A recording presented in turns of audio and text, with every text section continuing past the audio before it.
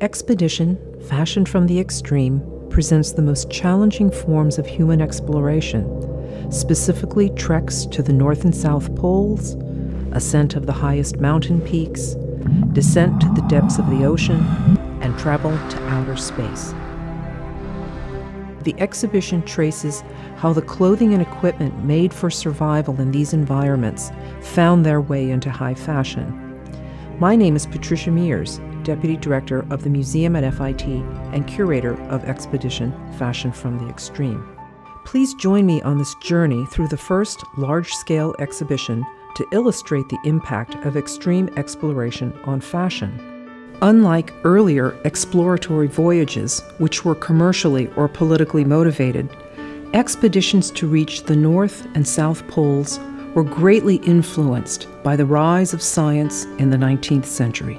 Charles Darwin's seminal publication, On the Origin of Species, released in 1859, was one of the most influential books of its day, and it helped the desire to explore extreme environments expeditions became even more popular thanks to the French writer Jules Verne, who is credited as the father of science fiction.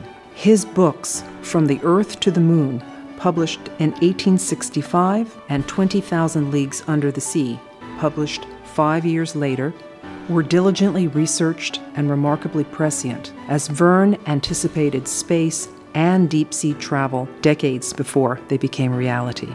Prior to the 1960s, however, fashionable images of the deep sea or the Arctic were relatively rare, and actual clothing inspired by these harsh and distant environments was even rarer. This began to change by the mid 20th century. During the 1960s, fashion design and fashion photography became wilder and more experimental.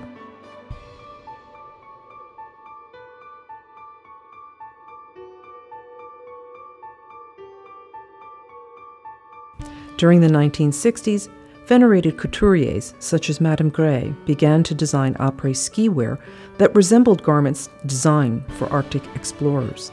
The explorers' ensembles, in turn, were invented and made by indigenous Arctic peoples such as the Inuit and the Eskimos. Leading fashion magazines, Vogue and Harper's Bazaar, also began to send models and photographers to the Arctic to capture otherworldly images set amongst the icebergs. By the late 20th century, indigenous Arctic garments increasingly inspired leading designers such as Yohji Yamamoto, Karl Lagerfeld for Chanel, and Jean Paul Gaultier.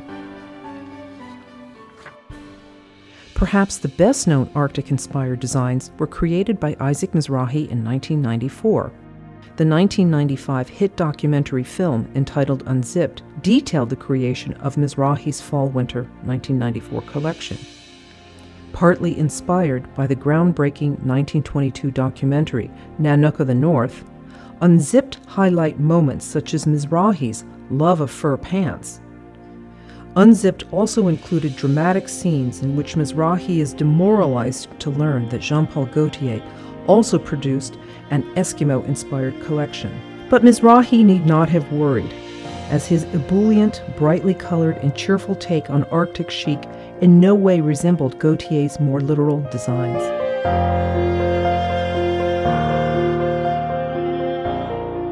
The parka, originally invented by the Arctic peoples, also became a wardrobe staple during the second half of the 20th century. Among the most popular parkas ever made were the M48 and M51. Designed with a long pointed back, it became known as the fishtail. Commissioned by the U.S. military during the Korean conflict, the fishtail was constructed to withstand the country's brutally cold winters.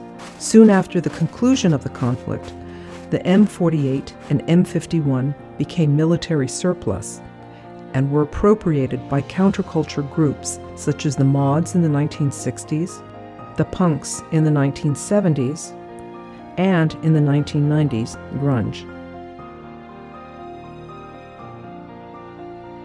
Contemporary designer Joseph Altuzarra refined the fishtail in 2011, and it became one of the most popular fashion hits that season.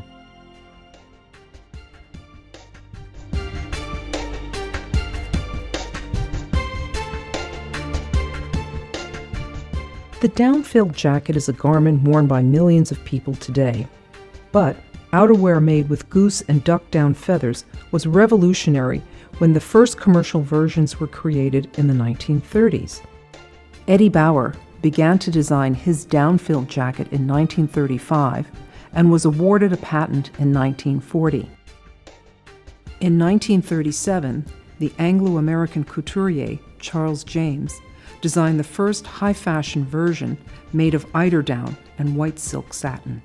The popularity of down filled garments rose dramatically after 1953, the year mountaineers Edmund Hillary and Tenzing Norgay became the first humans on record to successfully reach the summit of Mount Everest.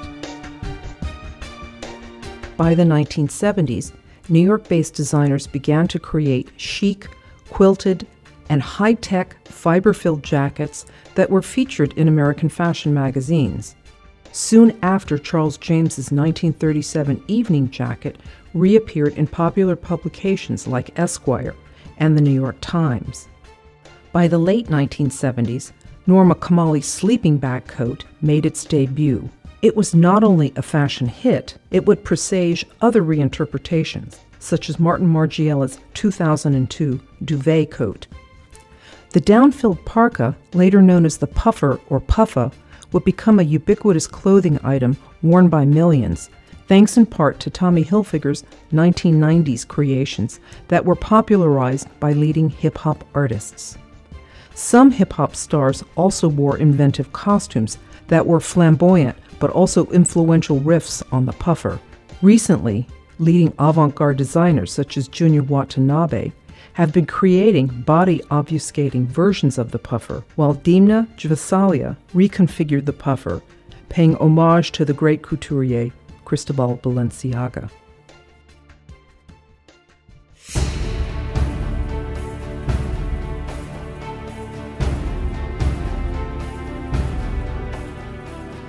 It was also during the 1960s that fashion became enamored with the space age which began with the 1957 launch of the Soviet satellite Sputnik and ended with NASA's last moon mission in 1972.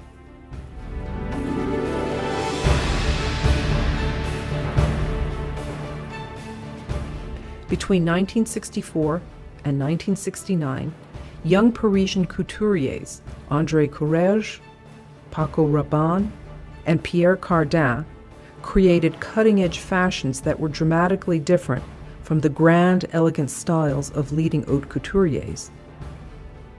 Theirs was the French response to a global youth movement that had already emerged in London.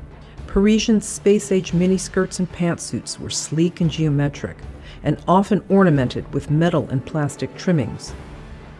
Although space age couture signified the ascendance of youth culture, the garments were beautifully crafted in the timeless couture tradition.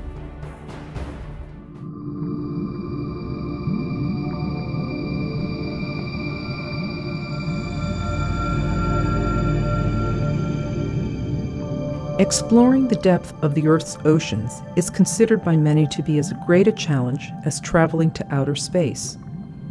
Following World War II, professional and amateur divers began to appropriate scuba and wetsuit technology.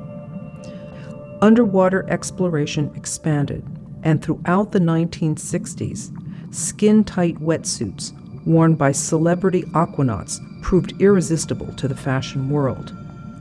Vogue and Harper's Bazaar regularly featured models in newly colorful wetsuits or fashion accessories with face masks, goggles, and flippers. By the late 1980s, a few fashion designers had begun to experiment with neoprene, a synthetic created for deep sea exploration. While other designers, such as Junya Watanabe, created entire seasonal collections using waterproof synthetics that were evocative of actual deep sea garments. Fashionable interpretations of the wetsuit also became increasingly popular in the late 20th century. Noteworthy examples included Karl Lagerfeld for Chanel's scuba jacket covered with sequins. Whole collections featuring actual wetsuit material include Thom Browne's stellar Spring Summer 2017 menswear runway show. In recent years, deep sea exploration has also led to the discovery of many new animal species.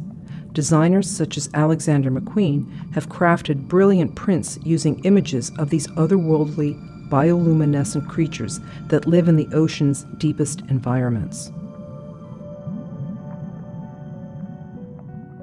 Like the burgeoning scientific endeavors that inspired treks to the farthest reaches of the Earth and beyond in the 19th century, Expedition Fashion from the Extreme is an early, preliminary investigation of the rich and varied world of extreme exploration and the many ways it has made its mark on high fashion. It is by no means a comprehensive study of either field, as topics are incalculably vast we readily recognize that we are only at the onset of a long journey of exploration and discovery, a journey we hope will continue in the centuries to come.